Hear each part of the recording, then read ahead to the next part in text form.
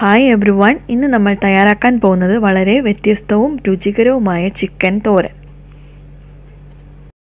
വീഡിയോയിലോട്ട് പോകുന്നതിന് മുന്നേ നിങ്ങൾ ആദ്യമായാണ് ഈ ചാനൽ കാണുന്നതെങ്കിൽ സബ്സ്ക്രൈബ് ചെയ്യുക ഇഷ്ടപ്പെടുകയാണെങ്കിൽ ലൈക്ക് ചെയ്യുക ബെല്ലൈക്കൺ പ്രസ് ചെയ്യുക.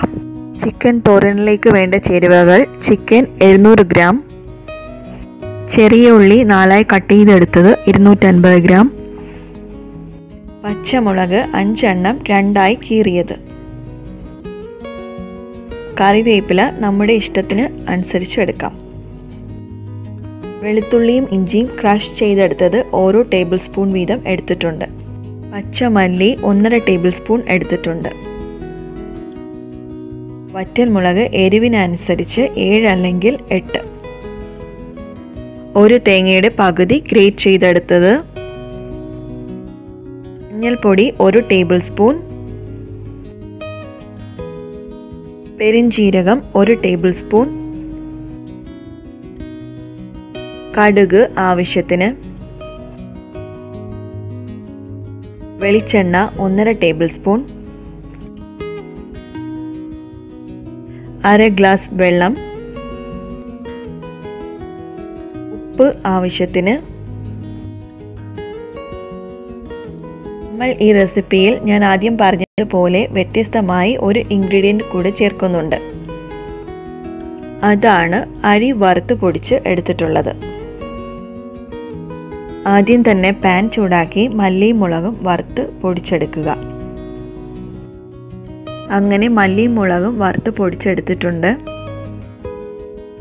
അങ്ങനെ സെയിം പാനിൽ എണ്ണ ചൂടാക്കി കടുക് പൊട്ടിച്ച് ചെറിയ ഉള്ളി പച്ചമുളക് കറിവേപ്പില ആവശ്യത്തിന് ഉപ്പ് എന്നിവ ചേർത്ത് വരട്ടിയെടുക്കുക.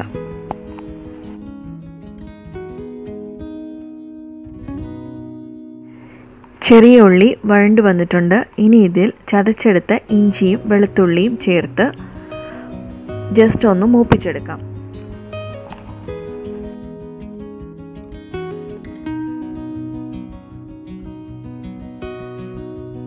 ഇനി ഇതിൽ ചിക്കൻ കഷ്ണങ്ങളും വറുത്ത് പൊടിച്ചു വെച്ചിരിക്കുന്ന മല്ലിപ്പൊടിയും മുളക് പൊടിയും പിന്നെ മഞ്ഞൾപ്പൊടിയും ചേർത്ത് ഇളക്കിയതിന് ശേഷം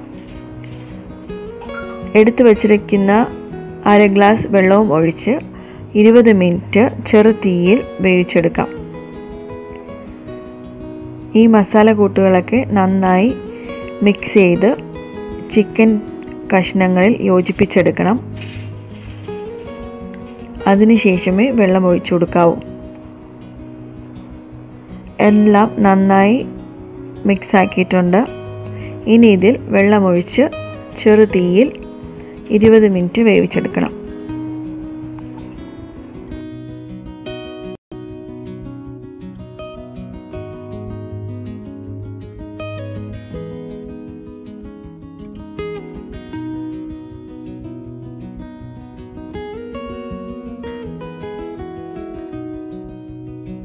ഈ സമയം കൊണ്ട് നമുക്ക് ഇതിനു വേണ്ട അരപ്പ് തയ്യാറാക്കാം. അതിനായി തേങ്ങ പെരിഞ്ചീരകം ഒരു പച്ചമുളക് നാല് ചെറിയ ഉള്ളി കുറച്ച് കറിവേപ്പില മഞ്ഞൾപ്പൊടി എന്നിവ എടുത്ത് ജസ്റ്റ് ഒന്ന് ചതച്ചെടുക്കുക. തോരനായതുകൊണ്ട് ചതച്ചെടുത്താൽ മതിയാകും. ചിക്കൻ ഇളക്കി കൊടുക്കാൻ മറക്കരുത്. ഇപ്പോൾ ചിക്കനിൽ വെള്ളമുണ്ട്. ഈ വെള്ളമൊക്കെ വറ്റിയതിന് ശേഷം മാത്രമാണ് നമ്മൾ തയ്യാറാക്കി വെച്ചിരിക്കുന്ന അരപ്പിട്ട് കൊടുക്കുന്നത്. അപ്പോൾ ഇനി ഒരു അഞ്ച് മിനിറ്റും കൂടി അടച്ചു വെച്ച് വേവിച്ചെടുക്കാം. ഈ സമയം കൊണ്ട് വേറൊരു ഫ്രൈങ് പാൻ ചൂടാക്കി കുറച്ച് എണ്ണ ഒഴിച്ച് ചതച്ചെടുത്ത അരപ്പ് ഇതിലൊന്ന് വറുത്തെടുക്കാം. അരപ്പിന്റെ പച്ചമണവും നിറവും ചേഞ്ച് ആകുന്നത് വരെ വറുത്തെടുക്കുക. അരപ്പിന് ആവശ്യമായ ഉപ്പും ചേർത്ത് കൊടുക്കാം.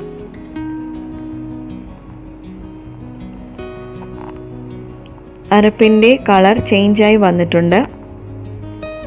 പച്ചമണമൊക്കെ മാറി നന്നായി ഫ്രൈ ആയി വന്നിട്ടുണ്ട്. ഇനി നമുക്ക് ഇത് വേവിച്ച് വച്ചിരിക്കുന്ന ചിക്കനിലോട്ട് ആഡ് ചെയ്ത് കൊടുക്കാം. ചിക്കന്റെ വെള്ളമൊക്കെ വറ്റി നന്നായി വെന്ത് വന്നിട്ടുണ്ട്. ഇനി ഈ അരപ്പ് ഇതിലിട്ട് ചിക്കന്റെ എല്ലാ ഭാഗത്തും കവറാകുന്നത് വരെ യോജിപ്പിച്ചിളക്കാം.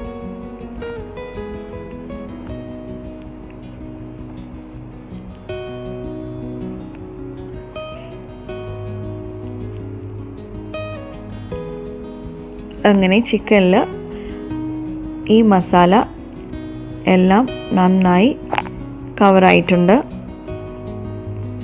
അതിനുശേഷം അടച്ചു വെച്ച് ചെറിയ തീയിൽ ഒരു രണ്ട് മിനിറ്റ് വേവിക്കാൻ വയ്ക്കാം.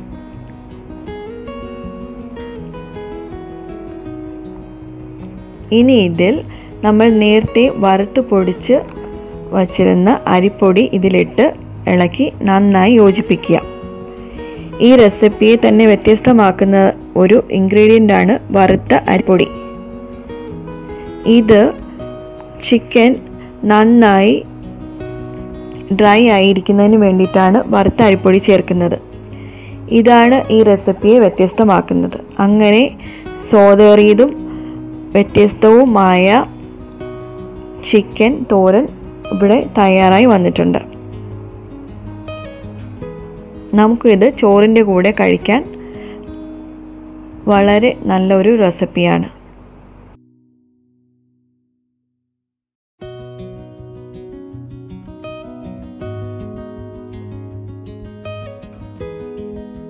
ഈ വീഡിയോ ഇഷ്ടമായെങ്കിൽ please like comment share and subscribe thanks for watching Teenu Shiva